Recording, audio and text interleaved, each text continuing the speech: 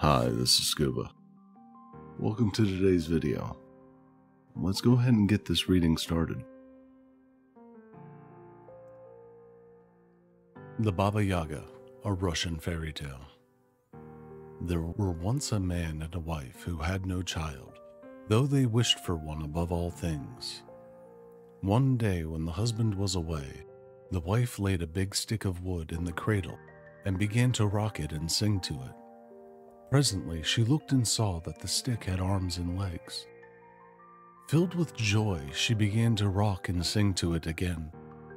She kept it up for a long time, and when she looked again, there, instead of the stick of wood, was a fine little boy in a cradle.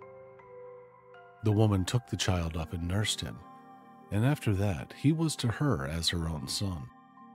She named him Peter, and made a little suit of clothes and a cloth cap for him to wear. One day, Peter put on his little coat and went out in a boat to fish on the river. At noon, his mother went down to the bank of the stream and called to him, Peter, Peter, bring your boat to shore, for I have brought you a little cake to eat. Then Peter said to his boat, Little boat, little boat, float a little nearer. Little boat, little boat, float a little nearer. The boat floated up to the shore. Peter took the cake and went back to his fishing again. Now it so happened that a Baba Yaga, a terrible witch, was hiding in the bushes nearby. She heard all that passed between the woman and the child, so after the woman had gone home, the Baba Yaga waited for a while, and then she went down to the edge of the river and hid herself there and called out, Peter, Peter, bring your boat to the shore, for I have brought you another little cake for you. But when Peter heard her voice, which was very coarse and loud, he knew it must be a Baba Yaga calling him. So he said, Little boat, little boat, float a little farther. Little boat, little boat, float a little farther. Then the boat floated away, still further out of the Baba Yaga's reach. The old witch soon guessed what was the matter, and she rushed off to a blacksmith who lived over beyond the forest. Blacksmith, blacksmith, forge me a little fine voice as quickly as you can, she cried, or I will put you in my mortar and grind you to pieces with my pestle. The blacksmith was frightened. He made her a little fine voice as quickly as he could, and the Baba Yaga took it and hastened back to the river. Then she hid herself close to the shore and called in her new little voice, Peter, Peter, bring your boat to the shore, for I have brought another little cake for you to eat. When Peter heard the Baba Yaga calling him in her fine, small voice, he thought it was his mother, so he said to his boat, Little boat, little boat, float a little nearer. Little boat, little boat, float a little nearer. Then the little boat came to land. Peter looked all about, but saw no one. He wondered where his mother had gone, and stepped out of his boat to look for her. Immediately the Baba Yaga seized him. Like a whirlwind, she rushed away with him through the forest and never stopped till she reached her own house. There, she shut him up in a cage behind the house to keep him until he grew fat. After she had shut him up, she went back into the house, and her little cat was there. Mistress, said the cat, I have cooked the dinner for you, and I am very hungry. Will you not give me something to eat? All that I leave that you can have, answered the Baba Yaga. She sat down at the table and ate up everything but one small bone. That was all the cat had. Meanwhile, at home, the mother waited and waited for Peter to come back from the river with his fish. Then at last she went down to look for him. There was his boat drawn up on the shore, empty, and all around it were marks of the Baba Yaga's feet, and the trees and bushes were broken where she had rushed away through the forest. Then the mother knew that a witch had carried off the little boy. She went back home, weeping and wailing. Now the woman had a very faithful servant, and when this girl heard her mistress wailing, she asked her what the matter was. The woman told her all that she had seen down at the river, and how she was sure a Baba Yaga had flown away with Peter. Mistress, said the girl, there is no reason for you to despair.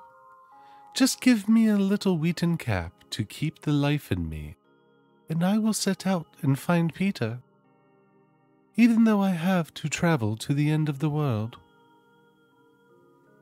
Then the woman was comforted. She gave the servant a cake, and the girl set out in search of Peter. She went on and on and after a while she came to the Baba Yaga's house. It stood on fowl's legs and turned whichever way the wind blew. The girl knocked at the door, and the Baba Yaga opened it. What do you want here? she asked. Are you seeking work or shunning work? I am seeking work, answered the girl. Can you give me anything to do? The witch scowled at her terribly. You may come in, she said, and set my house to order. But do not go peeping and prying about, or it will be the worse for you. The girl went in and began to set the house in order, while the Baba Yaga flew away into the forest, riding in a mortar, urging it along with a pestle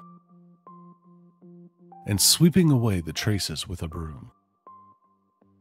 After the witch had gone, the little cat said to the girl, Give me, I beg of you, a little food, for I am starving with hunger. Here is a little cake.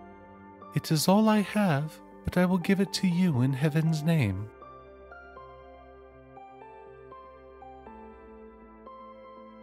The little cat took the cake and ate it all up, every crumb. Now listen, said the cat. I know why you are here, and that you are searching for the little boy named Peter. He is in a cage behind the house, but you can do nothing to help him now. Wait until after dinner, when the Baba Yaga goes to sleep.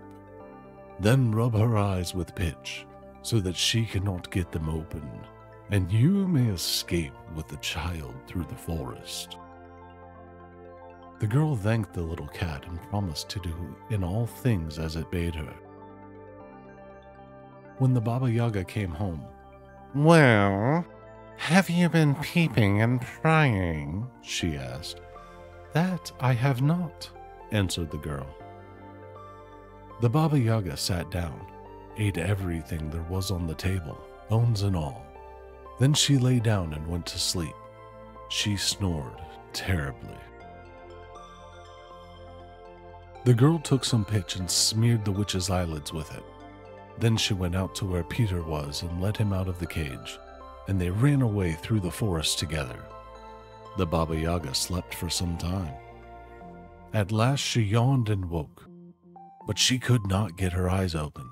They were stuck tight with pitch. She was in a terrible rage. She stamped about and roared terribly.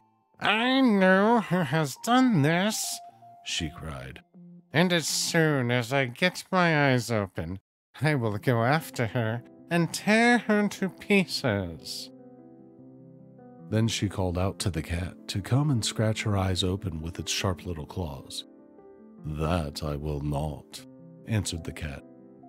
As long as I have been with you, you have given me nothing but hard words and bones to gnaw.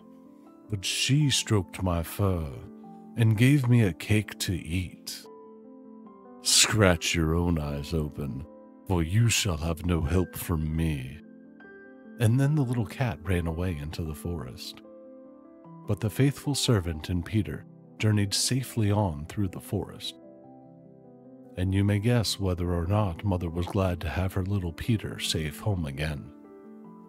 As to the old Baba Yaga, she may be shouting and stamping and rubbing the pitch from her eyes yet, for all I know.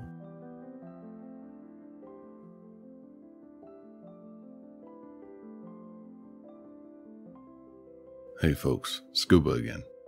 I just wanted to thank you for watching today's video, and I hope you enjoyed my reading of this story. If you'd like to see more of my videos, go ahead and click on one of the playlists in the top corners. I also would like to invite you to check out the links in the description. Included in my Linktree is a link to my Twitch page, where I stream on Mondays and Fridays. Again, thank you for coming by, and I hope to see you soon.